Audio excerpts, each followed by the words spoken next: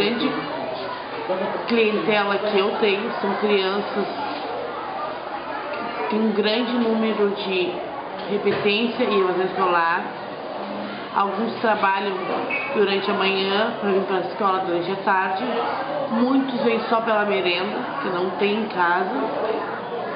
A maioria deles trabalha como, recicla como recicladores. Não tem o que fazer, por isso nós montamos a Escola Aberta, que é um programa do governo federal, e o Mais Educação, aonde vem verba e nós tiramos as crianças do trabalho. Essa é a nossa busca incessante.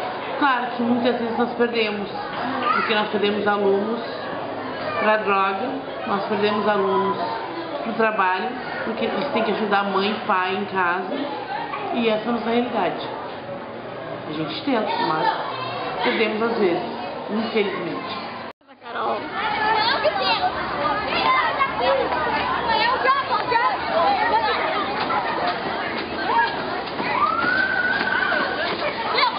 Tu não viu? Tu não viu o mapa andando? Todos contra tu. escolar, que eles começam a trabalhar dentro da escola. Alguns vêm para comer, alguns vêm só para comer a merenda. Estão repetindo a quinta, a terceira, quarta vez.